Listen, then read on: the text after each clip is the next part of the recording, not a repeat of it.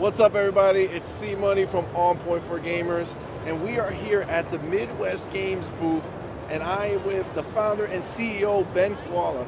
He is going to tell us about Midwest Games. Their journey is very interesting, and I think you're going to be surprised. All right, Ben, how are you, buddy? I'm doing really well. This is such a fun show.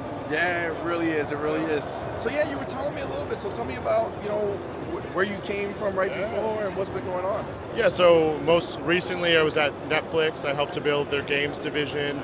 Uh, I had previously helped to build their marketing division for films. Uh, and then I had been at 2K and Blizzard for quite a while uh, before that. And then ultimately decided 10 months ago to leave Netflix and build my own publisher, Midwest Games, with the attempt to really try to change where games come from by better supporting underserved developers, uh, underrepresented developers in other places. So we're based in Green Bay, Wisconsin, not exactly known as a video game hub, but that doesn't mean it can't be. There's a lot of a lot of a lot of history in the Midwest. Dungeons and Dragons was created in Wisconsin. Uh, you know, Midway uh, was an incredible game published for so long with Mortal Kombat and NBA Jam and, and Cruis'n USA and all the incredible games that they put out.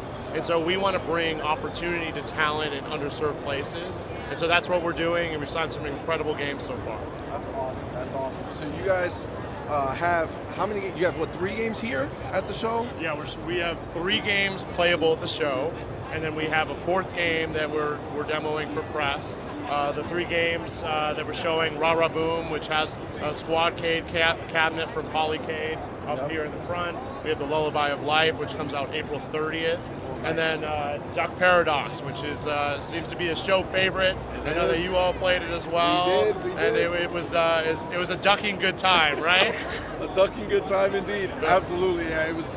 It was really really good. So that game in particular, Duck Paradox. Uh, who's the creator of it? Yeah, uh, so his name is Diego from Magic Games. Uh, he's based in Germany, but he's from Mexico, and he's working with an with an audio designer from uh, Indiana. So kind of all over the place. He's actually in college. He's a student, and so we help to get him set up. We help to uh, uh, really bring this game to market. He had an incredible demo that we really, really love, and we were like, well, how can we support?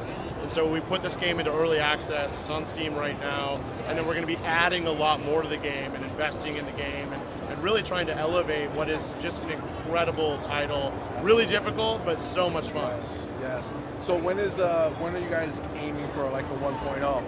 Uh, the 1.0 should come out a little bit later this year. We'll have we'll have a drop of some additional content and early access before that.